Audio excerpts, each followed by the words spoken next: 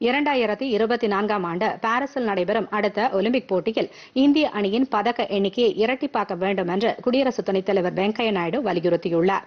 பாராலிம்பிக்கை பொறுத்தவரை இந்திய வீரர் வீராங்கனைகளின் செயல்பாடுகள் மாற்றுத்திறன் குறித்த மக்களின் உணர்வுகளை மாற்றியமைத்துவிட்டது என்று அவர் கூறினார்.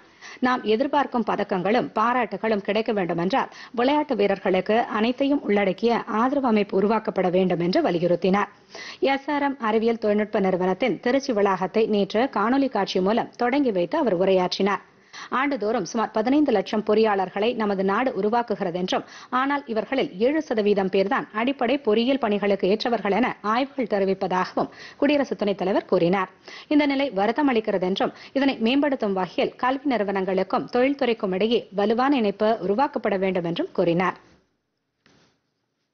The stellar performance of India's sportspersons at Tokyo Olympics 2020 filled the hearts of all of our countrymen with pride. Even more gratifying were the achievements of our para-Olympians, who, through their single-minded focus, grit, and uh, resilience, brought home a record number of 19 medals, propelling India into the top at 25 at the Para Games.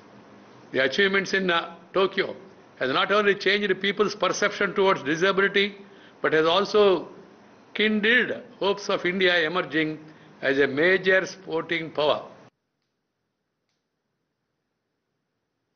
தங்கள் கல்வியை பிறரது நலன்களுக்காகவும் சமுதாயம் மற்றும் தேச நலன்களுக்காகவும் பயன்படுத்த வேண்டும் என்று மாணவர்களை அவர் கேட்டுக்கொண்டார்.